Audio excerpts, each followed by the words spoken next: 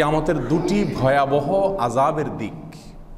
যে আজাব থেকে মুক্তির জন্য মানুষ পানা চাইবে, বলা হবে আল্লাহ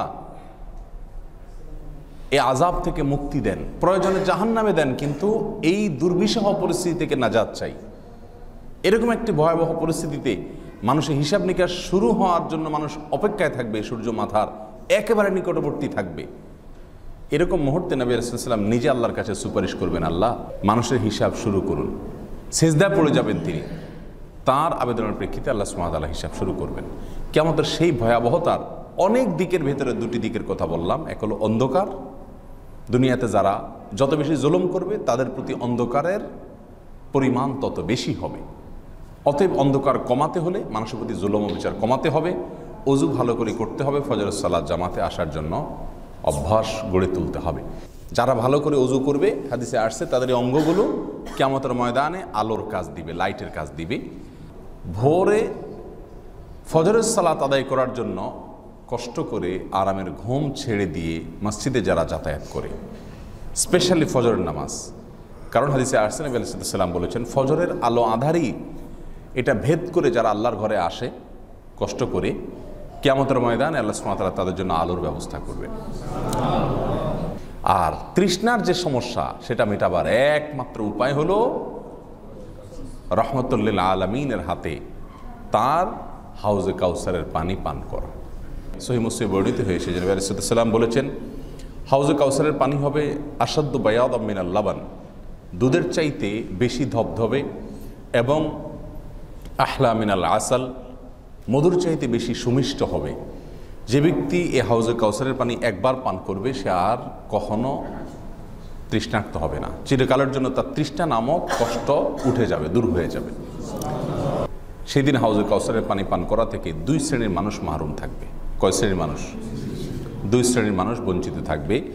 তাদের ভিতরে এক শ্রেণির কথা আমরা অনেকেই জানি, যারা বেদায়াতে লিপ্ত হয়। অপর আরেক শ্রেণির কথা আমরা খুব কম সংখ্যক মানুষই জানি। আসলে আমরা জেনে নিই, কারা সেই হতবাগা মানুষ যারা নবী সাল্লাহ সাল্লামের হাতে হাউজে কাউসারের পানি পান করা থেকে বঞ্চিত থাকবে, মাহরুম থাকবে, তাদের ভিতরে প্রথম ব্যক্তির কথা বুখারে এবং মুসলিম একযোগে বর্ণনা করেছেন। আরও অন্য হাদিসের কিরা বর্ণিত হয়েছে সাহালিবনে সাদ রাদি আল্লাহ তালাহু বর্ণনা করেছেন যে নবী আলাহ ইসলাম ইরশাদ করেছেন, আনা ফরাতকুম আলাল হাউদ, ফমান ওয়ারাদাহু শারিবা মিনহু ওমান শারিবা মিনহু লায়াদমা আবাদা। কেয়ামতের দিন নবী আলাইসালামের কাছে যে হাউজ থাকবে, যে সে হাউজের কাছে আসবে, সে পান করবে। এক বর্ণায় আসছে আকাশের যে তারকারাজি আছে মুসলিমের বর্ণনায় এই তারকারাজি সমপরিমাণ আপনার এটা পান করার পাত্র থাকবে সেখানে, প্রচুর পরিমাণ পাত্র থাকবে এটা বোঝানোর উদ্দেশ্য। তো সেখান থেকে যে পান করবে, লাইয়াজমা আবাদা, সে কখনো আর তৃষ্ণার্ত হবে না।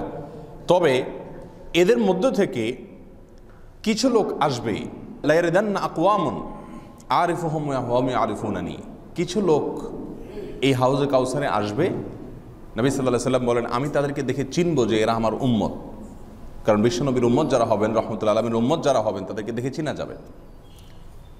আমি দেখে তাদেরকে চিনব যে তারা আমার উম্মত, আর তারাও আমাকে দেখে চিনবে যে হ্যাঁ আমি তাদের নবী। সবই ঠিক আছে। এরপরে আমি তাদেরকে পানি পান করাতে প্রস্তুত হব। এমত অবস্থা সুম্মায়ু হালু বাইনি ও বাইনা হোম এরকম ব্যক্তি আর আমার মাঝে আল্লাহর পক্ষ থেকে আড়াল সৃষ্টি হয়ে যাবে। আপনি চিন্তা করুন। ভয়াবহ, তৃষ্ণার্ত অবস্থা যেখানে আর কোনো পানির ব্যবস্থা নাই। একমাত্র পানি, হাউজে কাউসারের পানি। যা ক্ষুধা, তৃষ্ণা সব কিছু নিবারণ করে দিয়ে আপনার কষ্ট লাঘব করে দিবে। আপনি পান করতে যাচ্ছেন, ওই সময় বাধা এসে গেল। কেমন লাগবে সেই দৃশ্য? কত কঠিন হবে সে পরিস্থিতি। তখন নবী আলাইসাল্লাম বলবেন যে, আল্লাহ, এদেরকে তো আমি চিনি, এরা তো আমার উম্মত। এদেরকে কেন পানি পান করতে দেওয়া হচ্ছে না? বাধা কেন দেওয়া হচ্ছে? ফাইকালু তখন বলা হবে ইন্নাকালা তাদরি মা বাদ্দালু বাদা কে রাসুল, আপনি জানেন না, আপনার দুনিয়া থেকে চলে যাওয়ার পরে এরা আপনার দিনের ভিতরে কি পরিমাণ পরিবর্তন পরিবর্তন আর হেরফের করেছে, বেদাত করেছে, নতুন জিনিস দিনের ভিতরে আবিষ্কার করেছে, মন গড়ায় ইসলাম এবং ইবাদতের মধ্যে বিভিন্ন পদ্ধতি তারা চালু করেছে, বেদাতের আবিষ্কারকেরা বেদাত সৃষ্টি করেছে, বেদাত অনুযায়ী আমল করেছে এই কারণে তাদের অবস্থা হবে। তখন নবী আলাইসালাম বলেছেন যে, তখন আমি তাদেরকে বলব, সোহকান সোহকান লিমান বাদ্দালা বাদি। কোন কোনো বর্ণা আছে, লিমান গাইয়ার বাদে। যারা আমার পরে পরিবর্তন সাধন করেছে ইসলামের ভিতরে, ইবাদতের ভিতরে, আমি যা করেছি সেটাকে লক্ষ্য করে সুন্নাহ অনুযায়ী করে নাই, হাদিস অনুযায়ী করে নাই মন গড়া করেছে, তারা দূর হয়ে যাও, দূর হয়ে যাও। এ লোকগুলা কিন্তু নামাজি মানুষ হবে। এ লোকগুলা কিন্তু দিনদার মানুষ হবে। কারণ বেদাত কোনো বেদিন মানুষে করে? বেদাত কারা করে? প্র্যাকটিসিং মুসলিমরা বেদাত করে। যে ইসলাম প্র্যাকটিসই করে না, তারা দাতার বেদাত কি? সে তো এবাদতই করে না। এবাদত করে কিন্তু বেদাত পদ্ধতিতে করে। আল্লাহ তালা আমাদেরকে বেদাত থেকে বেঁচে থাকার তৌফিক দান করুন। এই জন্য মোমেনের কাছে বেদাত হলো শির্কের পরে অনেক বড় আতঙ্কের নাম। অনেক বড় আতঙ্কের নাম। সে বেদাত থেকে বেঁচে থাকার চেষ্টা করবে। আল্লাহ তালা আমাদেরকে বেদাত থেকে বেঁচে থাকার তৌফিক দান করুন। এক প্রকারের মানুষ আমরা পেয়ে গেলাম। দ্বিতীয় প্রকারের মানুষ হলেন যারা শাসকদের মোসাহেবি করে, তোষামদি করে, যাদের পাওয়ার আছে, ক্ষমতা আছে, এদের ওয়েলিং করে, তেলায়ন করে, এদেরকে জিহুজুর জিহুজুর করে, এদের অন্যায়গুলোকে অন্যায় বলে স্বীকার করে না। তাদের দলের অনুসারী অথবা তাদের ভক্ত অনুরক্ত বলে তাদের অন্যায়গুলোর পক্ষেও সাফাই গায়। সেগুলোকেও ধামাচাপা দেওয়ার চেষ্টা করে। আছে না না এরকম মানুষ? সব সময়, সব যুগে পৃথিবীর সব দেশে সব ভূখণ্ডেই এরকম মুসাহিব এবং তোষামতকারী কমবেশ থাকে। অন্যায়কে অন্যায় বলে না।